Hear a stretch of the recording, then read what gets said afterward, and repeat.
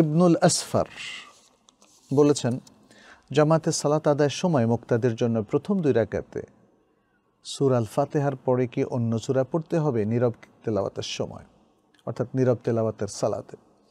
নাকি ইমামের পেছনে মুক্তাদের জন্য প্রথম দুই রাকাতে সুরা আল ফাতেহা পড়াই যথেষ্ট? কেউ যদি ইমামের পেছনে শুধু সুর আল ফাতেহা পড়ে, অন্য সুরা না পড়ে সেটাকে যথেষ্ট হবে? উত্তর হচ্ছে হ্যাঁ সেটা যথেষ্ট হবে। ইমামের পেছনে মুক্তাদিরকে, মুক্তাদিদেরকে যেটা পড়তে হবে সেটা হলো সুরাতুল ফাতেহা। আমরা জানি যে ইমামের পেছনে সুরাতুল ফাতেহা পড়া নিয়ে তিনটা অভিমত আছে আমাদের ওলামাই কেরামের। সকল ওলামাই কেরামে বিজ্ঞ, আলহামদুলিল্লাহ। একটা মত হচ্ছে পড়তেই হবে। এটাই সবচেয়ে শুদ্ধ কারণ আমরা দেখি যে, যেমন নীরব কেরাতে তো মানে কোনো সমস্যাই নাই, শরীয়তের কোনো বাধাই নাই। আর সরব কেরাতের সময় আমরা দেখি যে রাসুল সাল্লাহ সাল্লাম সুরাতুল ফাতেহা পড়তে বলেছেন, যেমন আমরা আবু দাউদ তিরমিজের মধ্যে একটা হাদিস পাই, নবী সাল্লাহ সাল্লামের সালাদ সম্পর্কে একটা ঘটনা সেখানে তুলে ধরা হয়েছে। সাহবাই রামের মধ্যে যিনি রাবি তিনি বলছেন, কুন্না খলফা রসুল ইল্লাহ সাল্লাহ সাল্লাম ফি সালাতুল ফজর। আমরা সালাতুল ফজরে রাসুলুল্লাহ সাল্লাহ সাল্লামের পেছনে ছিলাম। ফাকারা রাসুলুল্লাহ সাল্লাহ সাল্লাম ফাতাকুলত আলহিল কেরা তখন নবী সাল্লাহ সাল্লাম কেরাত পড়লেন। অবশ্যই তিনি জাহারি কেরাত পড়ছেন, সরব কেরাত, যা প্রকাশ্যে জোরে পড়া কেরাত তিনি পড়ছিলেন। কিন্তু তার উপর কেরাত পড়াটা কঠিন হয়ে গেল। ফালাম্মা ফারাগা কালা যখন তিনি সালাদ শেষ করলেন, বললেন লা আল্লাহ আল্লাকুম তাকরাউনা খালফা ইমামিকুম। মনে হচ্ছে তোমরা তোমাদের ইমামের পেছনে কেরাত পড়ছ।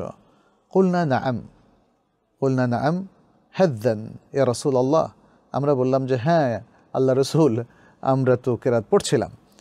কালা, তখন নবী সাল্লাম বললেন লাফাতিহাতিল কিতাব ফাইনাহুল্লা সালাতাম বিহা।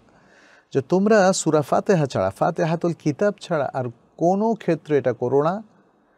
কারণ আহ, সূরা ছাড়া বা সূরা ফাতিহা যে পড়বে না তার সালাত নেই।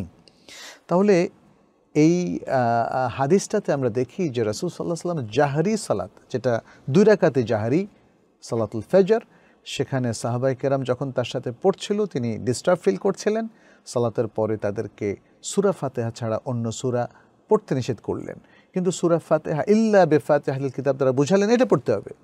এটা পড়তে হবে এবং কারণটা উল্লেখ করে দিয়েছেন, কারণ যে তা পড়বে না, তার সালাত হবে না।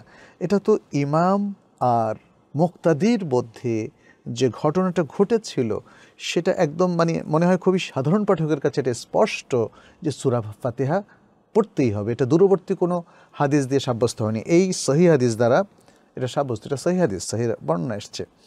আর ইমাম আহমেদ আরেকটা হাদিস উল্লেখ করেছেন যেটা সহি সানাদে তিনি বর্ণনা করেছেন রাসুল সাল্লাহ সাল্লাম বলেন লা আল্লাকুম তাকরা উনা ওল ইমামা ওল ইমাম ইয়াকরা। ইমাম যখন কেরাত পড়ছেন, সম্ভবত তোমরাও তখন কেরাত পড়ছো। তিনি এটা তিনবার বললেন, কালাহা সালাথান কালু সাহাবাইকরাম বললেন, ইল, ইন্না লানাফ আলু দালিক আমরা অবশ্যই তা করি, হে আল্লাহ রাসুল, আমরা অবশ্যই তা করি। কালা, তখন তিনি বললেন, ফালা তাফালু ইল্লা ইয়াকরা আহাদুকুম বিফাতিহাতিল কিতাব। তোমাদের কেউ একজন সূরা ফাতিহা পড়া ছাড়া আর কোনো কেরাত যেন না পড়ে। তাহলে জাহরি কেরাতে রাসূল সাল্লাহ সাল্লাম সূরা ফাতিহা পড়তে বলেছেন এবং সেটা একদম স্পষ্ট একাধিক হাদিসে। তাহলে সিররি কেরাতে তো সেটা আরও তরিকা আউলা, অর্থাৎ উত্তম পন্থায় সেটা পড়াটা মানে আরও আরও জরুরি হবে। তাহলে আমরা বলব যে এখানে সুরা ফাতেহাটা পড়বেন। অন্য সুরা মেলাবেন কি না উত্তর হচ্ছে অন্য সুরা মেলানো তো যদিও ওলামাই কেরামের একদল বলছেন ওয়াজিব, সুরা ফাতেহার সাথে অন্য সুরা মেলানো ওয়াজিব, সেটা ইমামের জন্য, মুনফারেদের জন্য। আর মুক্তাদির জন্য তারা বলছেন কেরাতি লাগবে না। যাই হোক, তাহলে এক্ষেত্রে আমরা বলব যে, আর জমহুর ওলামাই কেরাম বলছেন, সুরা ফাতেহার সাথে অন্য সুরা মেলানোটা সন্না সন্না এটা ওয়াজিব নয়। আচ্ছা তাহলে বুঝতেই পারছি যেটা ইমামের জন্য, মনফারেদের জন্য ওয়াজিব নয় আল্লাহ রাজা বিশুদ্ধ মত অনুযায়ী, সেটা কীভাবে মুক্তাদের জন্য ওয়াজিব হবে? তাহলে মুক্তাদের জন্য ওয়াজিব হবে বা ফরজ হবে সুরা ফাতেহা পড়া। এর সাথে মিলানোটা তার জন্য মুস্তাহাব হবে যদি নীরব কেরাতের বা নীরব তেলাওয়াতের সালাত হয়। আর যদি এটা সরব কেরাতের সালাত হয়, তাহলে তো রাসুল স্পষ্ট করে দিলেন, সে শুধু সুরা ফাতেহাই পড়বে, আর কিছুই সে সরবে পড়বে না, বাকিটা সে ইমামের কথা শুনবে। এখানে দ্বিতীয় আরেকটা মত মুক্তাদিদের সাথে আহ, ইমামের সাথে যখন আছে তখন কি সুরা ফাতেহা পড়বে কিনা? আরেকটা মত হচ্ছে ইমাম যখন জোরে পড়েন তখন পড়তে হবে না ইমাম যখন আস্তে পড়েন তখন পড়তে হবে। এটাও মহাকে কোলামাই কেরামের অনেকেই গ্রহণ করেছেন। আর তৃতীয় মত হচ্ছে মুক্তাদিদের ইমামের পেছনে সরব নীরব কোনো কেরাতি তাদের এমনকি সুরা ফাতেহাও পড়তে হবে না। একটা হাদিস দ্বারা তারা দলিল দেন যে যার ইমাম আছে, ইমামের কেরাতি, তার কেরাত এ হাদিসটা সম্পর্কে অনেক ওলামাই কেরাম বলছেন দাইফ আবার যারা বলছেন যে এটা অনুযায়ী আমরা আমল করি, তারা বলছেন যে এটা তাদের কাছে হাসান। যাই হোক, আমরা জানি যে ফেকি ইখতলাফের মধ্যে আমরা বাড়াবাড়ি করব না।